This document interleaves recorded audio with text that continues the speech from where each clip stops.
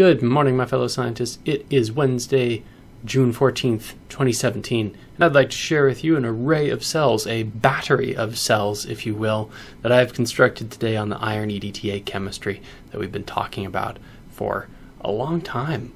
For new viewers, the notion is that if we want to construct a really cheap at home battery setup to store energy for whatever reason, or just to learn about how batteries work, then we need something that is going to be inexpensive, non toxic, and made of chemicals we could assemble at home. And iron is a good choice for that. Iron is cheap, non toxic, and can be assembled at home, not air sensitive or anything crazy like that.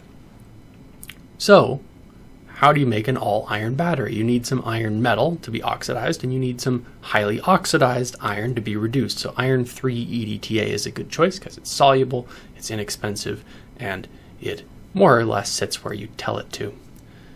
The way we construct this cell is we put some iron EDTA mixed with graphite in the bottom of this 50 milliliter conical tube and then add a little paper spacer to keep everything more or less level while we pour in some hot EDTA bearing agarose. That then freezes in place and makes a little uh, hydrogel plug to allow ions to pass through but to restrict electric current. That's really important for a battery because batteries need to have two sides, one of which gives up electrons, one of which takes up electrons, and you want those electrons to go through your load, not through the middle of the battery.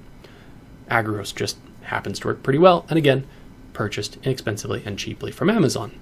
On the top, we put our iron metal and pour some EDTA over the top, and it's ready to roll. I constructed five of these batteries this morning. It took me about an hour, and arrayed them in series. And I had about 2 volts, which was sufficient to light up this LED, about which I am just really excited. I don't know that I've ever been more excited to just see a little green glowing LED. At that point, I hooked it up to a potentiometer and an ammeter, and we're just going to watch the decay over the course of the day as it slowly uses up the energy in there so we can get an estimate.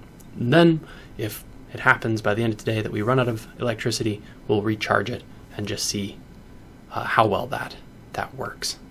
So anyway, stay tuned tomorrow. I'll let you know how that works, and we'll start talking about some other electrochemical projects.